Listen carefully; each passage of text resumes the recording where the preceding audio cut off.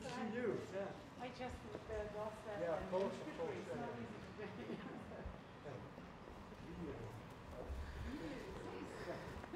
Guten Morgen aus äh, Luxemburg. Wir haben heute unseren Agrar- und äh, Fischereirat und äh, die Nacht über wurde sehr intensiv äh, verhandelt, denn am Ende geht es darum. Ja, sorry, ich glaube, wir müssen. Ähm,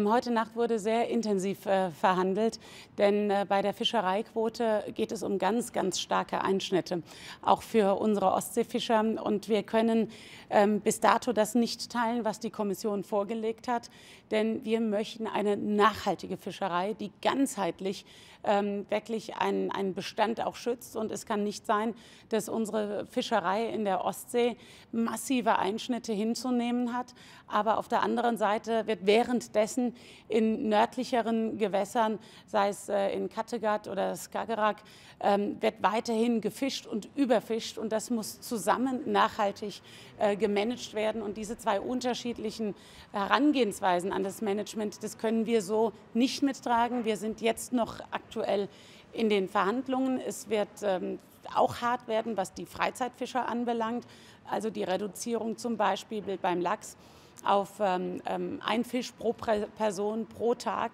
Stichwort Backlimit. Ähm, das sind starke Einschnitte und deshalb werde ich auch zu einem runden Tisch unsere Fischereibranche mit einladen. Denn wir müssen schauen, wie wir die Fischerei, den Sektor unterstützen können, sei es mit äh, speziellen selektiven äh, Fischfangmöglichkeiten, sei es äh, mit Stilllegung oder anderen Unterstützungen. Dann wird es heute früh äh, nachdem der Fischereipunkt abgeschlossen sein wird, um die EU-Waldstrategie gehen.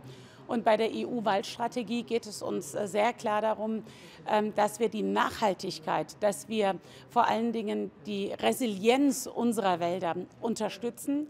Es ist äh, nicht nur gute Tradition, sondern gute Praxis, dass die Mitgliedstaaten zuständig sind für das Thema Waldbewirtschaftung mit den Fachleuten und für uns heißt das am Ende, dass wir die Multifunktionalität unserer Wälder, die Nachhaltigkeit, die Standortangepasstheit ähm, so fortführen müssen, dass sie auch in die Biodiversitäts- und Klimastrategie passen. Aber wir sind sehr klar dagegen, dass die EU-Kommission sich diese Zuständigkeit auf die supranationale Ebene zieht und gegen das Subsidiaritätsprinzip dann auch ähm, entscheidet oder agieren möchte. Und da sind wir uns sehr, sehr einig mit äh, der Mehrheit der Mitgliedstaaten und haben dementsprechend auch ähm, eine Erklärung unterzeichnet. In Österreich, aber auch in Deutschland.